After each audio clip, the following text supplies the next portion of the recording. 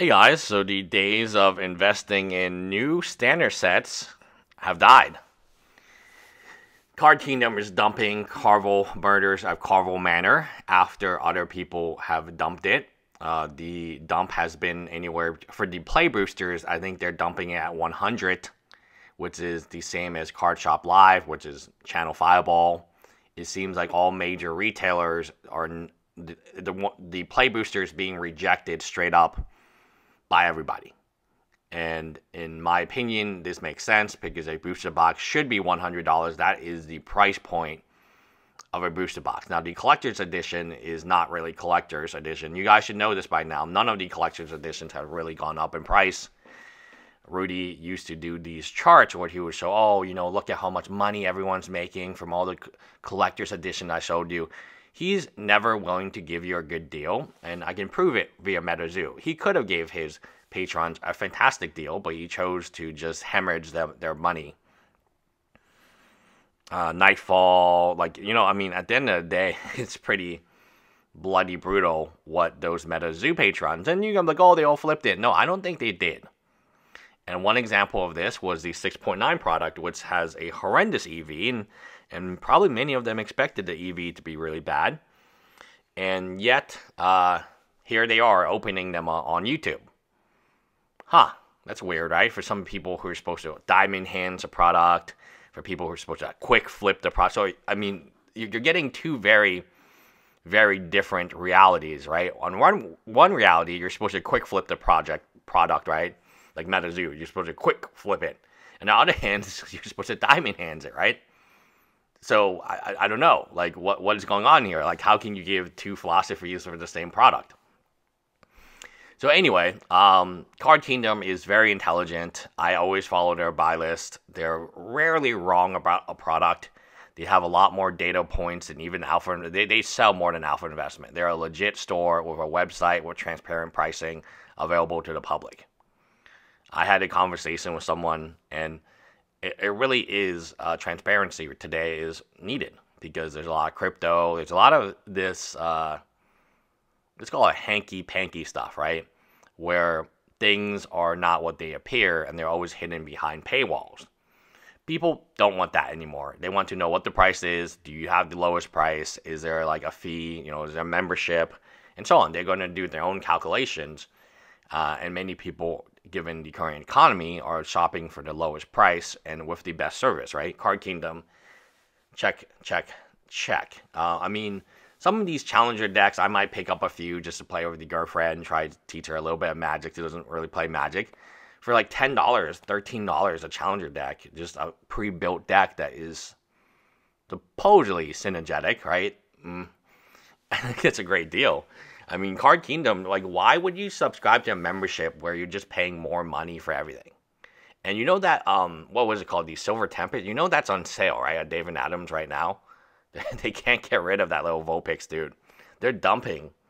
It reminds me of monthly Magic Box, which we talk about Tolarian Community College. They would just dump product onto the base.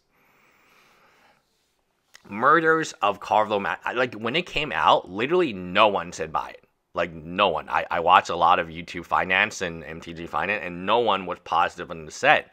Artwork looked bad, and the power level looked really, really shoddy, right? And actually, the most powerful common, the most powerful card is a uncommon in the set.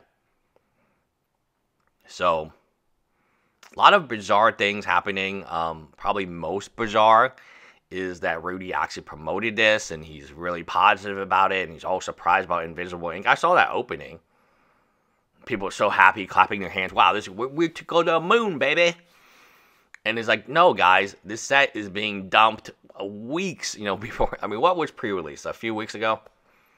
Yeah, I think I made. I mean, this set is awful, guys.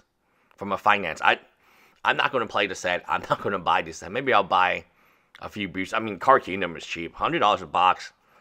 Card Shop Live had that, but I don't like Card Shop. I rather buy from Card Kingdom dude, people are getting slaughtered. And I, I mean, when I mean slaughtered, I mean they're getting just wholesale, just cleaved off right now. Like they, they gotta be taking losses at this price, right? At 140 a collector box, how can they not lose? At 100 play box, how can they not lose money? But maybe they all know something. The only conclusion I have here is that these people were dumping these, and Card Kingdom is not a small fish. It is a big fish, and they're dumping. Which leads me to the conclusion that maybe there's a bigger fish, i.e., Amazon, which Rudy said, Oh, they're never going to dump again, guys. Oh, it's okay. Everyone buy, buy, buy for me. A 180. Why there's a marketplace at 180 plus the 50. The 15 thing is just so ridiculous that he cannot sell booster packs. Like he cannot separate his Patreon from his business, right? He doesn't have a website with transparent prices, especially buy list prices, right? These other businesses, these other car shops. I mean, he's basically operating in the darkness, and he's he's from Wall Street. He knows how that ends up, right? So, uh, most famous case in Wall Street, sunlight is the best disinfectant.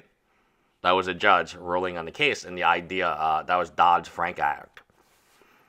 And the idea was that whenever people try to hide stuff, um, it's because they're doing shady stuff and ripping customers off. But when you're transparent about your buy list, about your prices, about what you sell at, about your sale, you let the customer decide. And I always hear that, oh, well, you know, it's the customer's fault. Oh, they should have bought MetaZoo. They should have known. Not everyone knew. But when you're in a little bubble created by the dude, like, you don't know anything. These people are like, I don't think they're idiots. I think they're living in a cult like bubble. And, you know, you might be like, oh, like, there was like some Smallville cult from like Allison Mack, and it's like Allison Mack's a smart person, but she fell for the bubble, and all these really intelligent, independent, strong women fell for the, you know, it was basically a blank scandal, right? And you're just like, how did that happen? Well, because it's a cult. Like, you know, it's what do cults operate under? They operate under, you know, hidden information, paywalls, and all this stuff, so no one actually knows what the hell's going on. But when you're in the cult, you think, oh, this is just how it is. Everyone just talks to each other. Everyone, oh, to the moon, Tomo, Cotto, Hotto, Hotto, Diamond Hands. Like, it's exactly crypto. It's no. Let me tell you a story that I got. And let me, can somebody on Alpha Investment side, can Alpha Investment confirm this? So let me get this straight. You buy the Rudy Gemkeeper promo, which is a flesh and blood card, for $1,000. Then you get discounts on cases, not boxes, cases. So you're forced to buy a case of uh, flesh and blood to get a $69 discount. And the case price is already very high. So you wanted, you know, this is pretty bizarre, right? Because you're paying $1,000 to pay him more money and to buy more product than you normally would want. Like, what happened to buying singles, guys? Like, you do know the best deal is buying singles, yeah? Like, does, everyone forget about that? Did everyone forget that buying singles, long term, short term, is a way better use utility of your money than buying a box if you want to play the game, right? Does, does anyone disagree with that? Right? If you had to get that rare mythic, you're not even guaranteed in that in a case of getting the card that you want. So I don't know. You know, I, I think the idea is you if you want to play this game, you buy singles. If you want to invest in game, invest in a reserve list. There is no room for investing in this shitty product called Karlov Manor. This is a shitty product, man. And anyone promoting it to you, I don't know what to say. It's not a good product, and they know it.